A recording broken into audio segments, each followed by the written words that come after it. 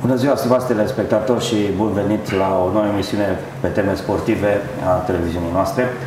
O emisiune în care vom uh, aborda un subiect uh, la modă, ca să zic așa, uh, fotbalul, pentru că este start de campionat în Liga 4 la județul Timiș, acolo unde ASEU Politehnica, după o vară cu multe emoții, a ajuns totuși să evolueze.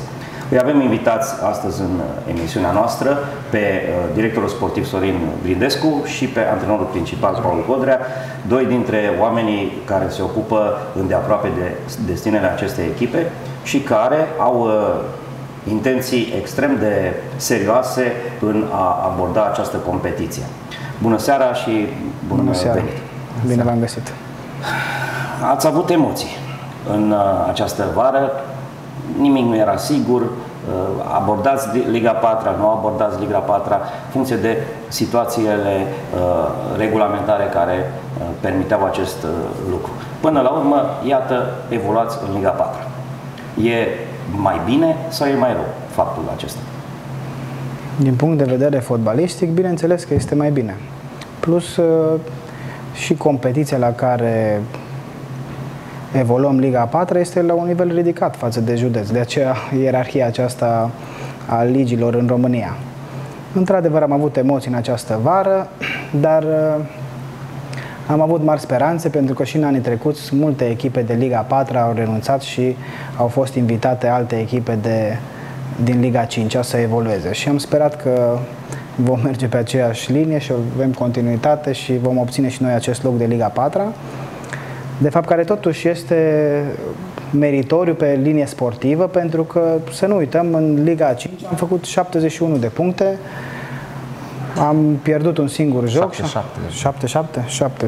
Am și uitat deja, am început Liga 4 uh, am pierdut un singur joc și două egaluri, deci echipa s-a comportat foarte bine pe teren. Din păcate n-am reușit să obținem acel loc întâi care ne dădea liniște și promovare directă. Dar... Uh, cu cele mai, cea mai bună linie de clasament dintre ocupantele locului secund și cu șansa ca da. Uh, Totul s-a petrecut regulamentar, că au fost... Nu au fost... face față din punct de vedere financiar competiției. Da. Ați văzut că au fost multe discuții, multe ipoteze, de, dar totul s-a petrecut regulamentar. Ca dovadă, în această săptămână și Giroco a promovat de pe locul 2 în Liga a 4 datorită faptului că Flacăra Făget a renunțat să participe la acest Echipa nivel. care retrogradă din Liga a 3 Da. Da, Așa. da. Pentru că exista în Liga 4 uh, Arsenal Flacăra Făget, o echipă care reprezenta Făgetul și care evoluează în continuare în, uh, în acest eșalon și care întâmplător sau nu, chiar a fost adversar, primul adversar în prima etapă din uh, acest campionat.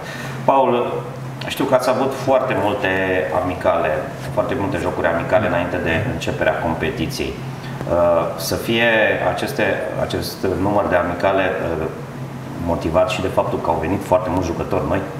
Cu siguranță. Am avut foarte mulți jucători noi la dispoziție și singura modalitate de a vedea un jucător la lucru este jocul, pentru că la antrenament nu poți să, să-ți dai seama exact de potențialul lui, doar prin jocuri vezi la ce nivel sunt și ce potențial are. Și de asta mi-am dorit foarte multe jocuri, acum n-am făcut extraordinar de mult, dar vreo 6-7 cred că am reușit să facem, nici perioada n-a fost foarte lungă și uite că am reușit să creionăm un lot destul de, de bun. Impresia care ați lăsat-o, cel puțin după primul joc, este că din punct de vedere fizic echipa se prezintă foarte bine. E adevărat? Da, pentru că noi dispunem și de condiții de antrenament foarte bune, de infrastructură, cum la divizia de nu cred că are nimeni în, în acest campionat. Asta ne permite să facem câte patru antrenamente săptămânal în condiții foarte bune și probabil că se simte diferența între noi și celelalte echipe. Câți jucători ai la dispoziție la această oră? Nu știu. Domnul manager mi-a zis că avem în momentul ăsta... În săptămâna trecută am făcut uh, tabelul cu antrenorii, au ieșit 26, între timp... Uh, au mai apărut? Uh, am observat că de fapt suntem 28 și în această săptămână și-au manifestat dorința încă trei jucători să vină, jucători tineri de perspectivă, să vină în rândul echipei noastre. Mai puteți legitima până în? Până în 9 septembrie se pot face legitimări, cu condiția să nu fi jucat uh, în acest an competițional la o, o altă echipă. Uh, din punct de vedere al acoperirii pe posturi, cum stați?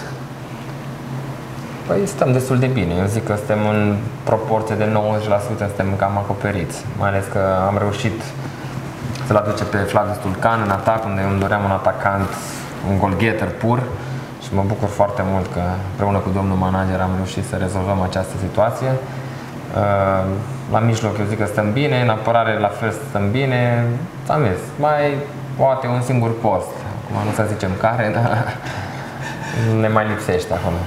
Deci ar mai fi loc. Ar mai fi De loc. mai bine. Mereu e loc de mai bine. Așa.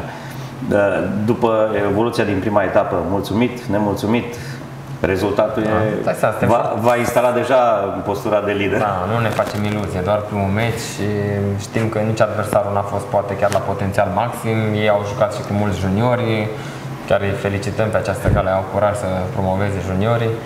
Uh, diferența de valoare a fost clară și rezultatul a fost na, destul de mare, poate neobișnuit, nu? să câștigi 1-2 în deplasare, dar uh, e doar început de campionat, așa că trebuie să rămânem modești și să ne vedem în continuare de treabă. Obiectiv? O să putem la iarnă să tragem o concluzie.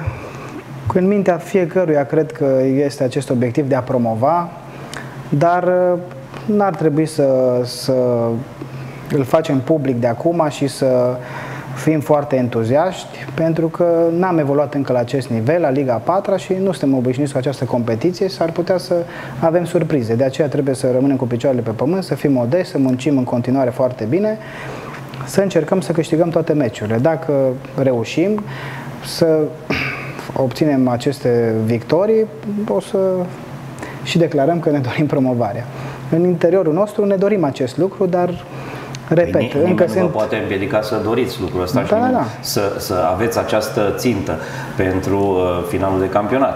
Acum, uh, drumul, bineînțeles că nu va fi un drum cu flori. Uh, Vor fi și Normal. obstacole, unele mai mari, altele mai puțin mari, dar vor trebui uh, depășite cu toate, uh, astfel încât uh, finalmente să fiți pe poziția care să vă asigure promovarea.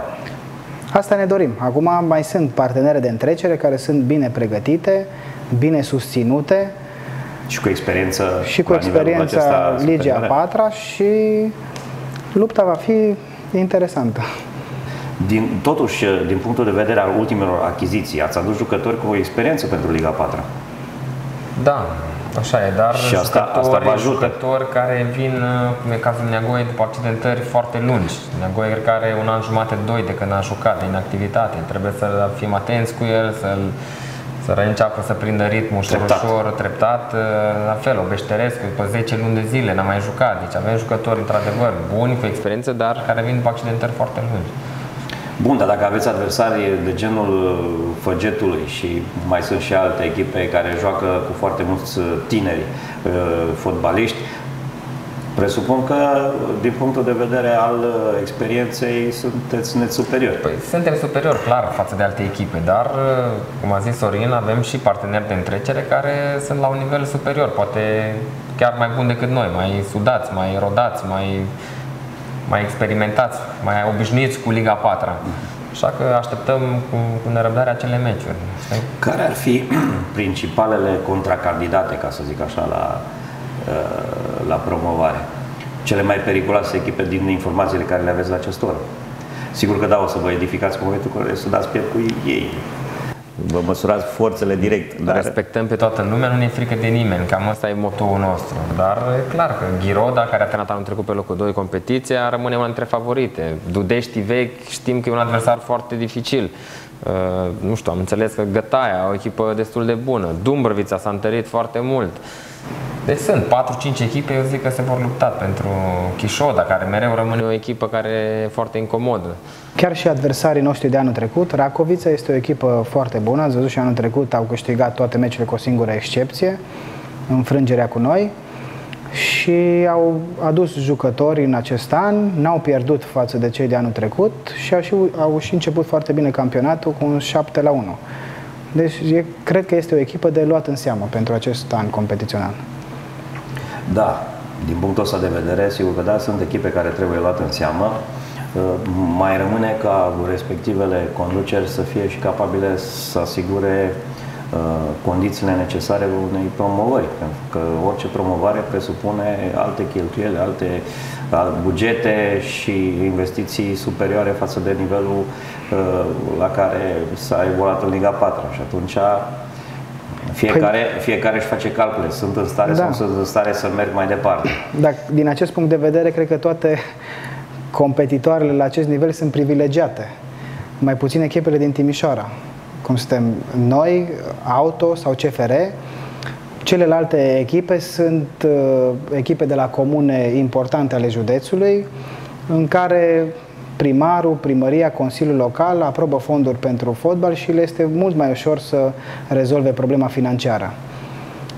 Din bani publici ați văzut, dacă dorește primarul, semnează și deodată și-au asigurat bugetul pentru un an de zile.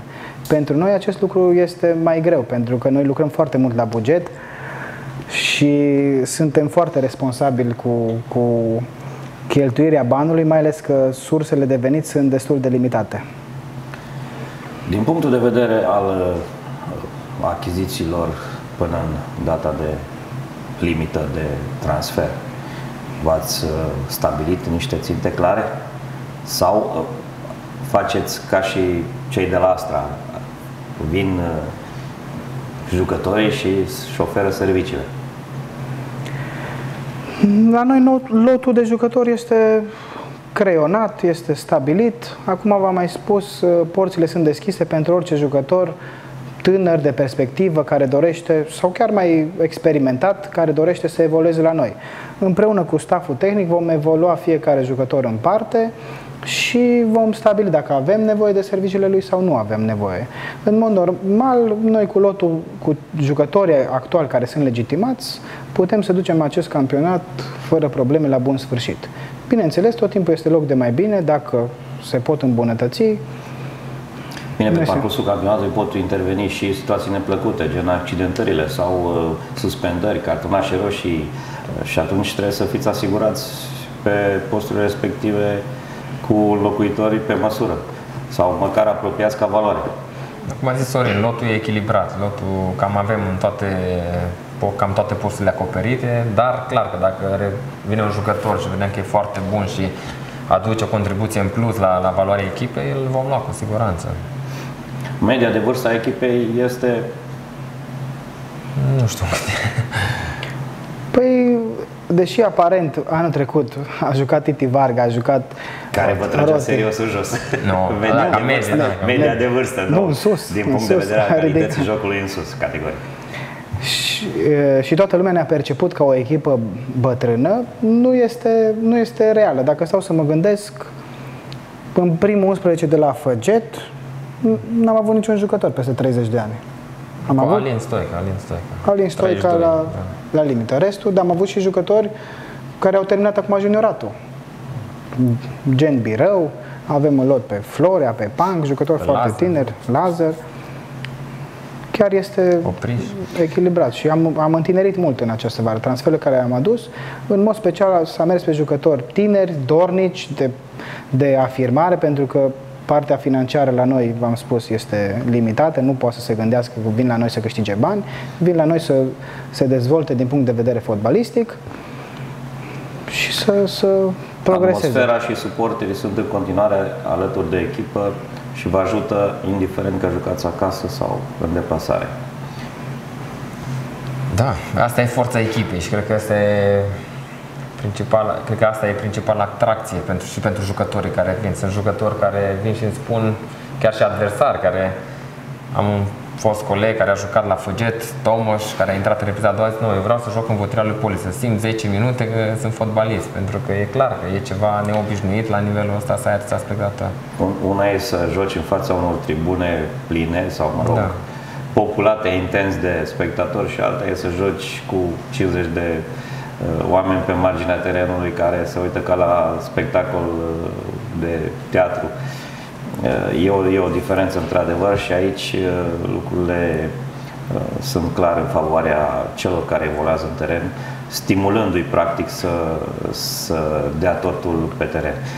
Uh, din punctul de vedere al jocurilor care le veți uh, juca pe teren propriu, se joacă vineri, se joacă sâmbătă? Se joacă vineri, după amiaza.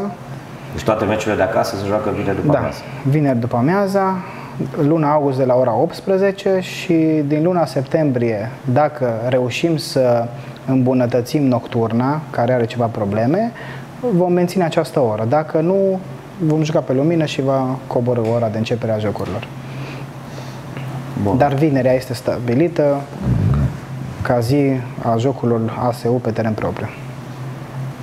Înțeleg că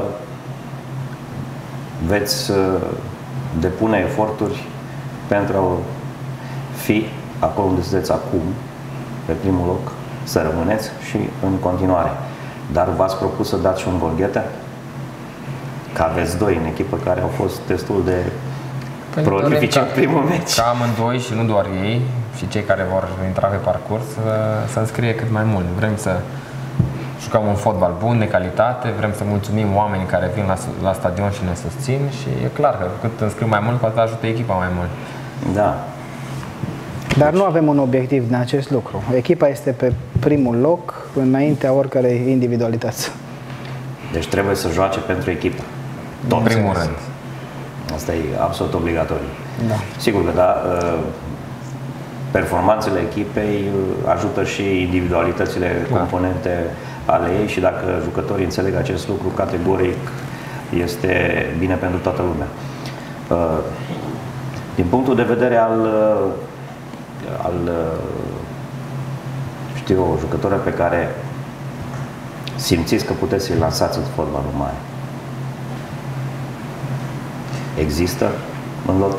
Păi eu zic că există câțiva, dar să așteptăm să mai treacă puțin uh, din campionat, să, să vedem cum se comportă în meciurile importante, pentru că doar așa creștem valoare, jucând meciuri importante și meciuri cu miză. Dacă joci meciuri ca asta din prima etapă, e clar că n-ai cum să crești în valoare, chiar dacă faci lucruri extraordinare. Meciurile cu miză îți dau valoare până la urmă. Jucătorii Asta. mari știu să joace sub presiune și să conviețuiască cu presiune. Asta înseamnă că, din punctul de vedere al antrenorului, trebuie să existe o adevărată artă în a-i ține în priză, chiar și la meciuri de acest cu gen. Cu siguranță, cu siguranță. Dar și nu doar la meciuri, și la antrenamente, pentru că antrenamentul e oglinda pentru meci. Dacă eu mă antrenez bine, dacă echipa se antrenează bine, o să joace bine. Când echipa se exprimă rău la meci, înseamnă că ceva n-a fost în regulă în timpul săptămânii la antrenament.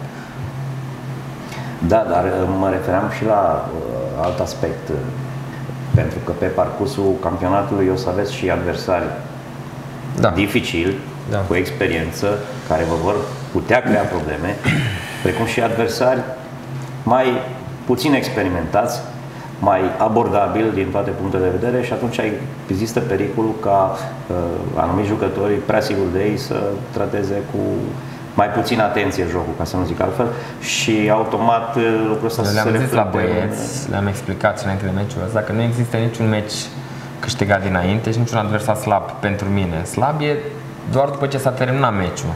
Pot să vorbesc despre adversar că a fost slab, dar înainte de meci pentru că viața te învață, chiar și la acest meci câștigat cu 9 la 2, că am avut o perioadă în repriza a doua când adversarul se putea apropia foarte periculos. Un meci care părea confortabil câștigat și fără nicio problemă. Ați avut penalti împotrivă la 4-2, da, se putea da, 4 face 4-3. Deci avantajul moral era de partea lor. Clar. Dacă nu înscriam repede golul de 5-2, aveam probleme. Deci orice meci poate avea dificultățile lui cu orice fel de adversar. Dacă tu nu ești concentrat și nu închizi meciul, ai probleme trebuie abordat cu seriozitate. Clar. Clar. Pentru că dacă uh, tratezi ușor meciuri, să ai surprize și după aceea alergi după rezultat, cum de altfel ați pățit voi în uh, campionatul trecut la Boldur. Nu, la Chizătău. A, și la Boldur. La Boldur. Da. Noi nu eram atunci. La Boldur. Exact așa s-a întâmplat așa. Mai rău am alergat la Chizătău. Ne-au condus cu 4-0. Bun. Deci uh, Aici e, e, e, de, e de lucru, zic eu, uh, îți trebuie mult tact și multă atenție ca să Da, dar cum ai zis tu, noi în lotul nostru avem norocul și șansa și e bine așa, avem jucători de mare experiență care bănuiesc că știu să gestioneze anumite momente, dar e și mm, și noi, stafful și chiar și stafful administrativ, trebuie să ne ocupăm ca jucătorii să fie mereu concentrați. Câți uh, dintre jucătorii nou veniți la echipă au reușit să prindă primul 11? Pentru că, de bine de rău, uh, el era uh, destul de bine creionat și orice nou venit trebuie să se dovedească mai bun decât cel care a evoluat în primul 11 până în momentul respectiv. Păi am avut la meciul de la Făget, am avut trei noi jucători care au intrat titulari, plus unul care a intrat în repriza a doua. A jucat fundașul dreapta Birău, mijlocașul stânga Vucea și Flavius Tulcan în atac. Uh-huh. Au intrat titulari. Au da. dat satisfacție? Păi, Tulcan a dat 3 goluri, Vucea a dat un gol, deci înseamnă că iar Birou a, a avut o prestație bună. Înseamnă că și am... pe parcurs a intrat Ionuț da. și, uh, și el, da. Neagoie și, Neagoie, și da. Obeșterescu, care sunt noi da. veniți. Și Obeșterescu a dat gol și el. Obeșterescu, da. Deci, până la urmă, rezultat bun, s-au integrat bine. evoluție bună, integrare bună a jucătorilor în uh, angrenajul echipei, răspuns bun la implicare cerințele bună, da. băncii tehnice și implicare personală și individuală a fiecăruia. Păi atunci uh, lucrurile sunt cam... Am fost foarte atenți la jucătorii pe care i-am adus în această perioadă. În primul rând am mizat pe caracterul lor și apoi pe Foarte important. valoarea fotbalistică. Pentru că avem nevoie de jucători modești, care să nu creeze probleme, să fie disciplinați, harnici, muncitori, ambițioși, Serioși. care își doresc același lucru ce ne dorim și noi. Să facă fotbal. Da. Și cred că am reușit toți jucătorii să fie pe acest tipar.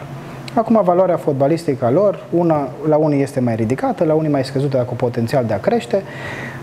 Depinde și de antrenori și de ce fac ei în antrenamente, cum vom, vor progresa și vor prinde echipa. Dar uh, suntem mulțumiți de jucătorii pe care i-am adus, repet, din acest punct de vedere al caracterului lor și a moralității. Este foarte important uh, să ai de lucru cu jucători uh, serioși, pentru că există situații și momente în care lipsa de seriozitate poate afecta performanța echipei.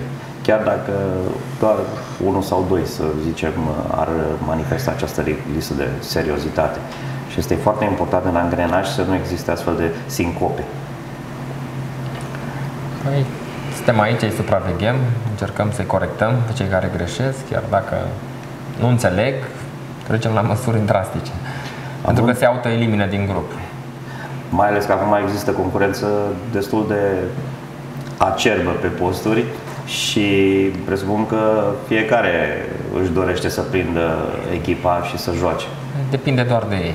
Pentru noi e ușor. Noi doar trebuie să alegem și pentru mine, am zis, singura modalitate de a alege cel mai bun 11 e antrenamentul. Dar cine se antrenează bine și îmi demonstrează că își dorește și e serios și dă maximul în antrenament, îl o să joace. Și nu le-am zis, niciodată echipa care câștigă astăzi nu se repetă la meciul următor, pentru că dacă nu îi văd pe aceiași 11, că n-au aceeași motivație în timpul săptămânii, nu vor juca cu siguranță. Asta e lucru bun. Păi trebuie să stea în priză și să știe că în spatele lor e cineva care e pregătit să le ia locul. Și dacă nu dau randament... Paul Codea nu e pregătit să ia locul. Nu e pregătit, e pregătit să stea pe bancă și să ofere indicații. Să înțelegem că nu mai ai tentația nu, în momentul ăsta nu îmi doresc. Îmi place foarte mult ceea ce fac și cred că fac mai bine ceea ce fac stând pe margine decât uh, să fiu între ei. Mai ales că avem jucători cu experiență, nu cred că e nevoie de mine acum în mod special. Da, are concurență foarte mare, a conștientizat că nu mai poate să... nu mai prinde lotul. M-am retras Nu mai prinde lotul. Da. E bun, e bun așa. Deci, uh, înseamnă că lucrurile sunt cam clare pe la această formație. Nu-mi rămâne decât să vă doresc succes în tentativa uh, de a rămâne pe primul loc pe care vă situați în acest moment și de a promova în Liga a treia, așa, pas cu pas, încet cu încetul, crescând jucători și uh, aducând în atenția uh, specialiștilor noi nume din fotbalul din zona noastră a județului Timiș. Succes în continuare mulțumim. și mulțumesc pentru participare. să stimați pe telespectatori, vă mulțumesc pentru atenție. Sperăm să ne revedem curând la o altă emisiune pe teme sportive.